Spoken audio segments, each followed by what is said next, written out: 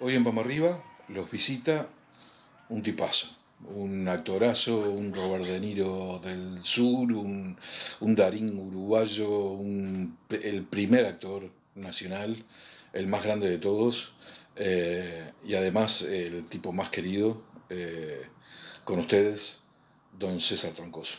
¡Qué lujo, por Dios! ¡Bienvenido! ¡Claro que sí! ¡Claro que sí! Pero. Hola, ¿Qué dice? César, bienvenido. Pero qué, buenos días. qué Maestro de los presentación más Hola. Qué atinada. Más eh, eh, exagerado. No, no, no. No. El Robert De Niro del sur. Sí, no. dijo De Niro, dijo Darín, Darín. No, dijo no. Sí, yo te tengo como Darín. No. Yo digo que para mí sos el Darín uruguayo. Yo, este, ¿eh? La misma. ¿Vos decís que Darín es el troncoso Darín. argentino? Yo No. creo que está- Darín es el te Te troncoso. va a demandar, al te va a demandar, te va a demandar, más mandar abogado. Vamos a ponernos cómodos. acá. Me voy a saludar acá al sí, hombre. claro, por supuesto. ¿Qué hace? Más Qué allá maravilla. de eso, más allá de, Acá, eso, acá, acá, César. de los reconocimientos, de- del valor al trabajo, dijo algo que me parece que debe ser más importante. Un tipo muy querido, ¿no? Sí. Redondeó el concepto diciendo eso. Sí, eso me gusta más. A mí cuando este, yo intento, a veces me sale mejor, a veces peor, pero intento ser buen tipo. Este, y me parece que además este, para este tipo de trabajos en los que siempre trabajás en equipo, es inevitable ser buen tipo, porque si no se nota. Y, y, obviamente, si te pasa que no sos buen tipo y se nota mucho, no te van a llamar nunca más. Totalmente, totalmente. Entonces, nada, me parece que... que- O sea, que- pero no que solo te es llaman por es buen tipo, también te llaman por buen tipo, pero por buen actor. ¿no? y O la sea, suma de las dos cosas, pero yo ya he trabajado con algunos actores con los que vos decís, pa, trabajaré de vuelta con este, Claro. porque, porque justamente no, cuando, cuando se apaga la cámara se Ah. transforma en otra cosa, entonces no está muy bueno. Y capaz lo viste más en el mercado brasilero, ¿no? En el sentido que hay Sí. más gente, hay más estrellas, digamos, entre comillas. Sí, hay de todo. sus caprichos. Sí, claro, acá no tiene mucho sentido, ¿viste? Porque, porque digo, porque es una vuelta muy chica, nos conocemos todos. Estábamos hablando contigo fuera Sí. de cámara que, que conoces un par de personas claro, claro. que han laburado conmigo. Entonces, este eh, es un mercado muy chiquito, es una vuelta muy corta, entonces no vale la pena. Pero en Brasil, que hay un Star System mucho más claro y mucho más grande, tenés de todo. Y tenés algunas personas a las que. Yo me acuerdo cuando yo hice aquella novela Flor del Caribe, había una compañera del elenco que no, no trabajaba conmigo, no le tocaba. Yo escuché el rumor, no sé si es verdad o mentira, que, que, que- que era muy, muy coqueta y se demoraba mucho en, en maquillaje y en, y en, y en peluquería. y, este, y empezó como a fastidiar a, todo el mundo. Cada vez que llamaban por ella, preguntaban por ella, no estaba. Y entonces este, decidieron, decidi- la, la transformaron en monja. Por- Ah, y entonces maquillaje. le dijeron, bueno, está, este, la sacamos, la monja, chao. Y entonces le Claro, pusieron, le la pusieron la toca de monja para que no rompiera malos cocos con el asunto este de demorarse. Todo, ya está. No se te ve. Claro, viste, es- los tipos son muy, muy drásticos. Si vos no funcionás correctamente, este, hay gente muy querida, pero hay otra gente que nada, el- los, los- los otros actores le escapan. Eh, Claro. Y yo no tengo muchas ganas de funcionar así. No, no Está está claro. bueno, no está Eh, vos arrancaste ya con la adolescencia consolidada para, para estudiar teatro, ¿no? Sí, ve- 25. 25 años, 25 recién ahí te pusiste a estudiar teatro. Sí. Y cuando ya trabajabas como actor, a su vez desarrollabas tareas administrativas, en un estudio, Sí, contables. sí. ¿Recordás el momento de tomar la decisión? de decir, arranco solo para la actuación. Sí. ¿Cómo, cómo fue esa, e- e- esa decisión? Digo, porque si bien seguías tu vocación y lo que más te gustaba, había un, un respaldo económico que pasaba a ser una- un gran signo de interrogación, Claro. ¿no? Es que yo, yo nunca me imaginé que pudiera vivir de la actuación este, plenamente. Mi expectativa cuando yo empecé a hacer teatro era, este, a estudiar teatro, digamos, era, bueno, ta, hago la carrera de, te- de tres años de, de escuela de teatro, me dedico al teatro propiamente dicho, por las noches y por las tardes trabajaré en el estudio contable hasta el fin de mi día. Eso era lo que yo me imaginaba. Después apareció el cine. Y ahí empezó a hacer la cosa como más gradual. Hice una película y dije, opa, mira qué bueno, hice una, una película.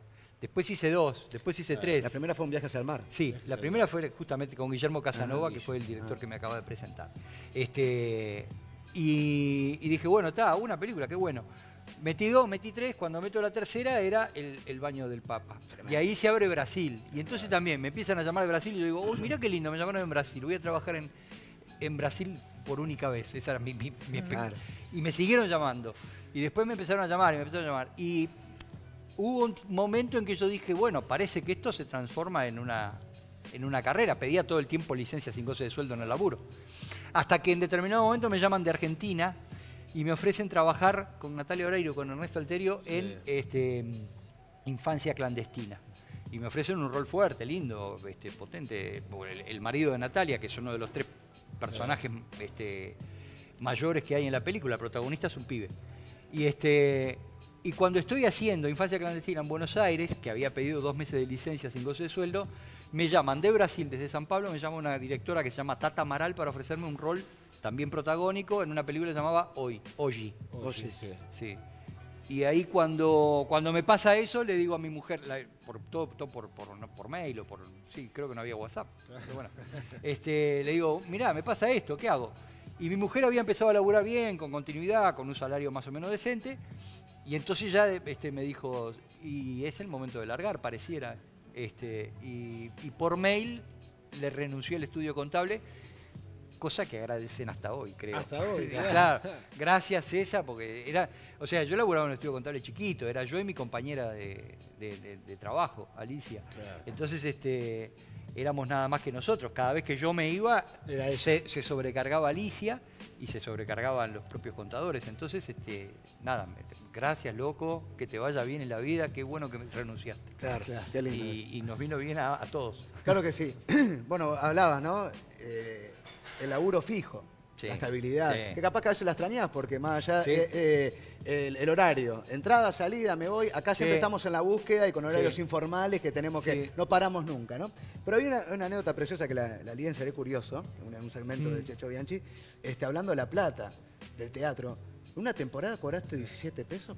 Sí, yo creo que no fue la peor. Lo que pasa es que el número, el número, Sí, el número, claro, te choca mucho. Claro, 17 o sea, pesos. también, también hubo temporada que no, eh, no, no no era una temporada, era un mes. Claro, también no cobré.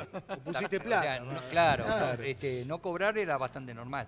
Pero ese número, 17 pesos, que era menos que un café, me llamó la atención. No, fue en una... En una Hubo gastos, eh, volvimos, eh, volvimos a hacer una segunda temporada con la misma obra y hubo ciertos gastos que de- inevitables de reposición. O sea, cuando repones tenés que volver a comprar insumos, tenés que salir a hacer prensa, qué sé yo.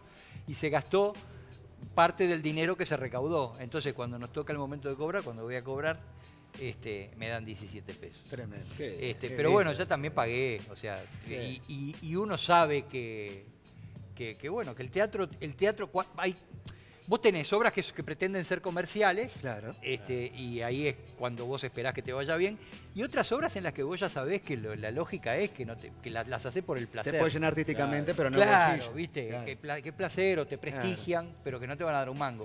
Como uno lo sabe, este, y no, no hay que pedirle peras al olmo tampoco, ¿no? Esto es lo que es. De hacer obras por placer, ¿no? Porque cuando uno va avanzando en una carrera y sobre todo además va ganándose prestigio y en reconocimiento, acabamos de escuchar que, que- que te comparan con, con referentes internacionales Sí. y, y- y bien comparado, ¿no? Uno se pone capaz que más selectivo a la hora de elegir los proyectos, ¿no?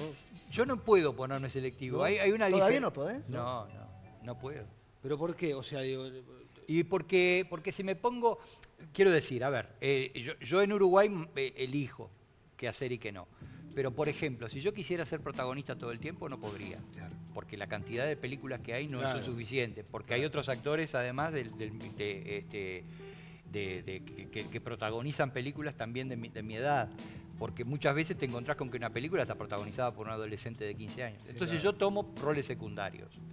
Este, los roles secundarios me parece que están buenos cuando, cuando son secundarios lindos. Ahora hice la teoría de los vidrios rotos, Sí. que la protagoniza Martínez Lipac, y yo hago un secundario, y me parece muy bien, me parece muy justo. Pero, pero, no, me- pero me, impide, me impide cobrar un, un calle de Claro. protagonista. En Brasil y en Argentina, si yo me pongo a esperar demasiado este, qué cosas hacer y qué no, no me llaman. Claro, o sea, no porque digo, porque no, no, no es que te llame, yo no vivo allá. Si viviera allá, capaz que puedo negociar distinto, pero yo vivo en Uruguay, o sea que yo ni me entero de las cosas que están apareciendo por allá, eventualmente de lo que me entero del que me llama. Y no me llaman 36 por año, me llaman 3, con suerte. Entonces, si descarto, si algo es demasiado espantoso, lo descarto. Pero si descarto todo, No te me quedo más. sin nada. Claro, Ahora, te la pregunta apuntaba un poco también a, a esta altura de tu carrera, cosas que hiciste tal vez hace algunos años, hoy no, las harías. Alguna, pero alguna, pero no demasiadas. Alguna cosa sí. Este, hay un par de películas eh, en Brasil que no volvería a hacer si pudiera elegir. ¿verdad? Pero por otro ¿Pero lado... ¿Por qué? Porque no te gustó cómo quedó al final, por el personaje, por Porque, el rol, porque, por- ya, porque yo ya sabía que no, que no estaba buena desde el arranque y sin embargo la agarré igual. Es laburo. Claro, ver, con esa lógica, dijo el el laburo. Una vez, ¿no? Claro. Claro, el laburo. Trabajo como actor, a ver. Claro, viste, yo lo que me parece, hay zonas, eh, hay zonas en las que podés resignar un poco de, un poco de calidad porque, porque, te, porque te da continuidad y la continuidad también suma y también es importante. Y hay otras cosas en las que no. Yo ahora, por ejemplo, el año que viene pretendo hacer teatro. Yo en teatro no voy a agarrar cualquier rascada. Ahí sí, no, no, no, no, no voy a agarrar algo que no me convenza. Si, si- si no me convence, le voy a decir que no, porque ahí puedo decir que no. Porque justamente ahí es, es mi zona de placer, digamos, ¿no? Sí, sí. Este, es donde, donde sé que no voy a hacer tanta plata, pero que voy a, voy a disfrutar. Entonces ahí es donde, donde elijo. Pero, mm, pero si te sale, si me sale, si me llaman de Argentina, si me llaman de Brasil, Hay que ir. este, claro. Hay que ir. Igual no me, no, tampoco, también es cierto que no me van a, no van a traer un, llevar un tipo de afuera Sí, claro. para, para hacer una cosa muy floja. O sea, si llaman a un tipo de afuera es porque Por es por alguna razón. Eh, En general no le he errado demasiado. Hay un par de cosas que, que no las hubiera hecho, pero no son, pero en 40 no está mal. ¿Te ofrezco agua o jugo? Un poquito de agua, puede ser. Te dio, César, porque sé que tu sueño a la hora de trabajar en, Brasil y todo, obviamente era juntar plata para una casa, porque siempre Sí. estamos con el techo, ¿no? La, Sí. la segura. ¿Te dio? Este, ¿O Eh, estás en eh, eso? en eh, no, yo tengo un apartamento propio. Ah, está bien. Y, y una parte del apartamento fue con el mejor calle que cobré alguna vez en mi vida, que fue cuando hice la novela Flor del Caribe. Claro. Después de eso, eh, eh, no, como nunca más cobré esa guita. ¿Te reconocen en Brasil? No, Después ni el porque fue loro. fuerte esa. No, ni el loro. Pero ni el oro porque es un continente. o Porque en realidad l- te, te involucraste en muchos proyectos muy exitosos. Sí, yo laburé en proyectos exitosos, pero por ejemplo, en, Flor del Caribe estaba con la barba y Sí, pelo claro, largo. Terminó la terminó el, el día el último día de rodaje, me afeité. Ya está, ni, ni- ni- Sí. ni mi tía Gregoria me conocía. Este, pero además no me conocen, quiero decir, eh, no tengo la continuidad suficiente, no es lo mismo cine que televisión. Yo no tengo televisión hecha en Brasil, tengo Flor del Caribe y dos cositas más, en- y, y después series para, para- para canales más pequeños de cable. Tengo cosas hechas para televisión, pero no, no masivas. No soy el personaje central de ninguna de ellas. Solo en el tiempo de Flor del Caribe fui, fui un personaje asiduo de la novela. este, y, y después no. Entonces, me reconoce la gente del, del gremio, ¿viste? Claro. Y la gente del medio. Y si voy al Festival de, Granada, de Gramado, por ejemplo, me conoce un montón de gente porque estuve cinco o seis veces en el festival y qué sé yo. Pero el pu- gran público no. El gran público solo me, eh, así, gente que me para por la calle, solo, solo Uruguay. Hay, Uruguay. este, hay todo un proceso para elaborar un personaje, para construir Mm, un personaje. sí. ¿no? Y debe haber todo un proceso también para dejarlo de lado, ese personaje, ¿no? Cuando se termina el proyecto, el rodaje o la obra, ¿no? E hiciste personajes muy intensos, ¿no? Sí. La noche de 12 años Tremendo. interpretabas Sí, un personaje tremendo. duro, eh, Sí. muy duro, ¿no? Esa composición eh, costó desarrollarla, porque además hay otra cosa que a quienes la vimos, este, en un- una era tan convincente, No, era una cosa tan, o sea, Tremendo. tan fuerte. ¿eh? Sí, yo creo que esas cosas son, viste, uno, uno piensa siempre lo difícil que es y no sé qué, pero también es cierto que uno no, más allá de lo duro del personaje, no es duro el rodaje, ni, ni la construcción del personaje. Yo no estoy sintiendo efectivamente lo que el tipo siente, ni padeciendo lo que un tipo padece. Yo me acuerdo que, por ejemplo, del que me costaba salir, pero me costaba cinco minutos, tampoco es que, porque, porque una cosa que tiene que quedar clara es que la actuación no es terapéutica. La No. actuación, vos no actuás para vos, ni para resolver problemas Problema. personales, ni historias personales. Vos actuás para que un público te vea y te vea, y que vea lo que termina siendo un espectáculo de ficción. Entonces, en esa medida vos no te podés meter. Pero yo, por ejemplo, hice una vez de asesino en una obra de teatro que llamaba Frozen, este, y confrontaba con la mamá de una de las niñas que había asesinado en la obra. Que eso, eso era bastante duro, porque el tipo se terminó, el personaje se terminaba suicidando. Ahí había como una cosa un poquito más de involucrar emociones personales y era te costaba un poquito más salir. Pero después en general, justamente, porque sos actor o, cuál es parte del entrenamiento que necesitas para ser actor, es ese, agarrar y decir, este, construí construí un personaje dramático y salí de él inmediatamente. O esa cosa que te agarran y te dicen, bueno, este personaje está sufriendo y de pronto se ríe. Y, y le decís, bueno, pero yo para poder hacer eso necesito un proceso, proceso, porque el personaje cambia. Claro. Y te dicen, sí, pero hacelo más corto. Y tenés que poder hacerlo. Claro. Y tenés que poder hacerlo. Y tiene que ver con el oficio. Entonces no te podés estar desgañitando de verdad. Ahora- Eh, tiene que ser verdadero hacia afuera, hacia vos puede ser. ¿Te da una placer mentira. verte? ¿Te da placer verte? O sea, hubo, hubo esos personajes que dijiste, pucha, mirá qué bien que estoy, mirá que... Sí, pero también, eh, también, también, otras, eh, los. En los puchas que está bien, mi- mirá que bien, mirá que bien que estoy. Yo aprendí a verme, porque sí hay una cosa que es verdad y es que al principio te cuesta, sobre todo, por ejemplo, te cuesta una cosa que es, este, yo siento mi voz salir de mi cuerpo y resonar en mi cuerpo y cuando la ves afuera grabada, la misma. Otra cosa. suena, un poquito misma. distinta, No pasa todo, parece. Es pasa diferente, todo. es tremendo. Es otra cosa, las primeras veces, Es tremendo. hasta que te acostumbras, te cuesta, te cuesta darte cuenta que ese sos vos y que esa es tu voz. Lo mismo con tu, con tu expresividad, vos no te ves, salvo que estés delante de un espejo, no, no ves tu cara cuando se mueve y cuando habla y cuando...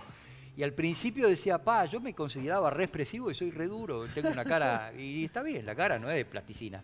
Claro. Este, al principio me costaba más, ahora aprendí.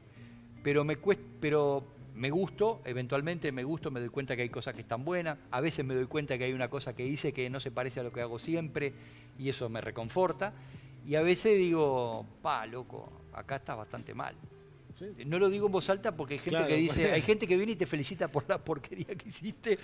y, que siga y bien, bueno, claro. que siga Bueno, creyendo pero- que es precioso. También estás en un momento que pasa eso. Yo veo a Troncoso y digo, bueno, es éxito asegurado, ya me va a gustar, ¿no? Como que la gente... Alguna ya- gente piensa eso. Pero es una realidad. Sí. Ya vendiste eso y además Sí. el, el exitismo existe a nivel de público. Sí. Es una realidad. Entonces, también la capacidad de un actor de decir, bueno, sí, esto está bueno, pero yo tengo también salir de mi zona de confort y poder jugar por otras canchas porque si no me quedo y, y soy Sí, costumbrista. a mí me pasó, a mí me pasó en una obra de teatro, este, que llamaba Marx en el Soho, que era un monólogo. Lo hice el día del estreno.